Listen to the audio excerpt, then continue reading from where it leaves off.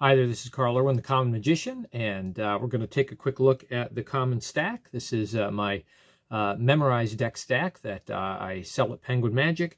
Uh, it is a uh, based on a number of principles that are, I think, somewhat unique as a as a collection of ideas for um, a memorized deck stack. Um, certainly, some of the ideas that are involved in this are not entirely original. Uh, little bits and pieces here and there have been uh, pondered by others. Uh, but it, but but overall, the concept is fairly unorthodox uh, when it comes to um, memorizing a deck of cards. Um, it's important to recognize the difference between a mem deck and a stack deck, and this is a memorized stack deck. Uh, so this is a a stack that has been created for a purpose, but in this case, the purpose is memorization. Um, in many cases, a stack is, is created, put together for the purpose of accomplishing certain goals, usually related to various types of effects or a routine.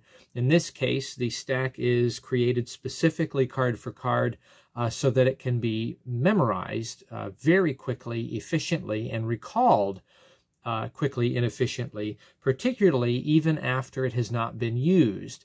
Uh, memory is a perishable skill after all, and if you don't use something uh, with frequency, you can start to forget uh, parts of it. And uh, with this particular stack uh, that is built for memorization, the hope is that learning the principles that make it work together um, and, and the fact that these principles are based on inherent characteristics of the card identities themselves and counting systems that we all use and have used since we were very young.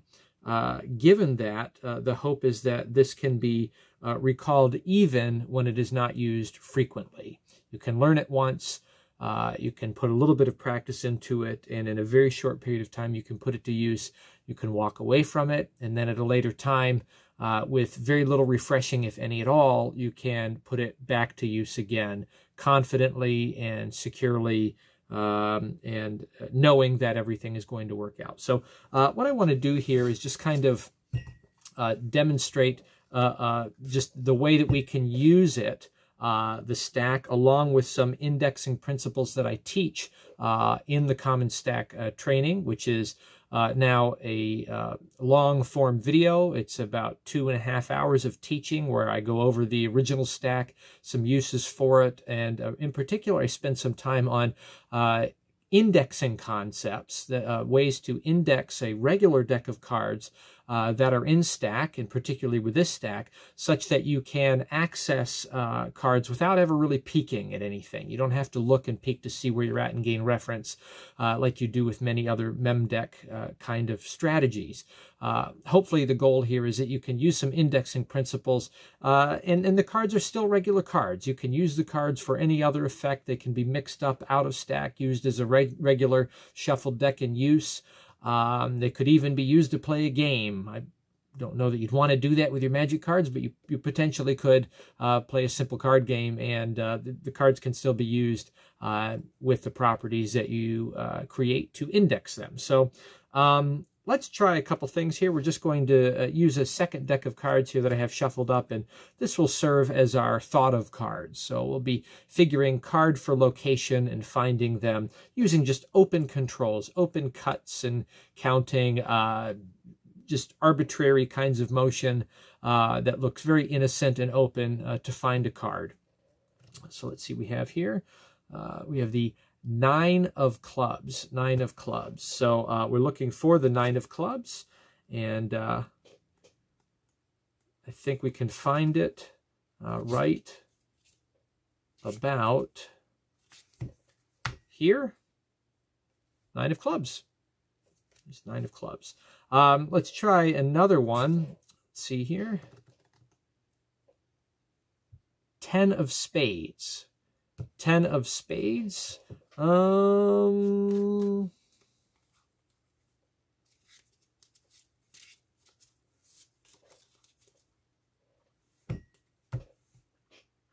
And I think we have it right here at the break. Ten of spades. Ten of spades. So, um, let's try a couple more here.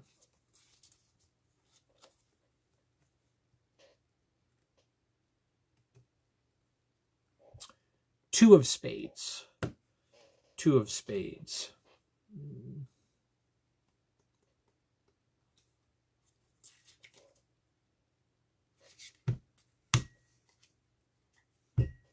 Two of spades. Right there.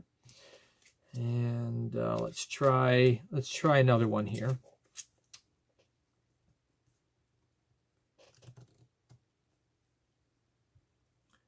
Seven of clubs.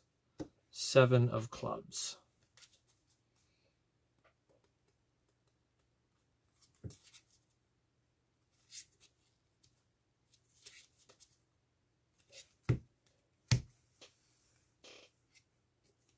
Seven of clubs. So obviously we can go on and on with this and the manipulation is so direct you could do it under patter and talking. Um, very, very simple stuff uh, in a very accessible order to this. Uh, I think it's also worth uh, pointing out uh, that the order has um, a very innocent appearance to it. Uh, so not only not only can you show it kind of open uh, like this, but you could potentially count. You can deal down through cards, and you can see that there's not really any kind of recognizable pattern to it. You have you have groupings and clumps of uh, similar values and uh, changes black and red and not in any kind of uh, uh suit order that is uh, recognizable for sure. Uh, there's not a, you know, a, cyclical sort of appearance to the cards. you can count through them face up and even a magician uh, certainly because this is so obscure and unknown, at least for now, wouldn't recognize anything in there. Not that that is ever really our goal, is to fool a magician with, uh, uh, you know, a memorized deck. But um, it just, you, you would have to have uh, supernatural level powers of observation, I think, to really recognize uh, that there is anything, you know, sequential or in order about this. Uh, it's a very, very fair looking kind of stack. Uh, that is extremely, extremely easy to memorize and recall. Again, because of various principles that are inherent to the identities of the cards. And it uses uh, the ways that we generally think about order um, in our everyday lives. So um, that's the common stack. Uh, you can download this at Penguin. You get that uh, main tutorial video, about two and a half hours of instruction on the original uh, concept, including indexing principles. There's an additional uh, video, shorter video, that looks at even more simplifications that can make this uh, considerably more accessible than even the original iteration was. You have a couple of different variations on the stacking principle. Um, I highly recommend the uh, um, the simplification. That's what I was using here. Very, very simple and direct.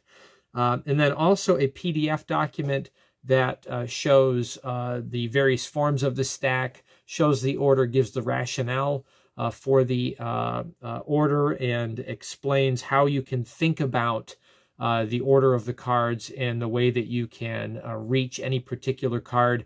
Also, the way that you can think about card to number and number to card uh, so that you can do a variety of effects that involve uh, cards at specific locations and the identity of cards at a thought of location. So that is the common stack.